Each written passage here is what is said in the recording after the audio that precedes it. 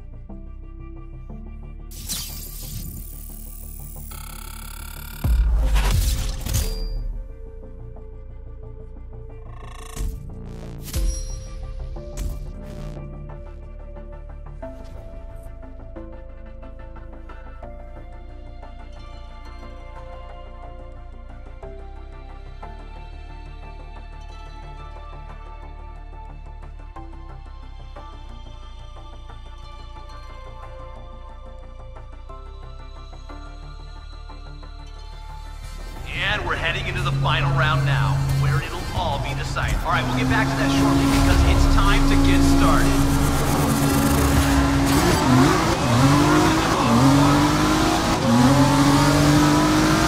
All right, uh, this is a long race, so keep focused.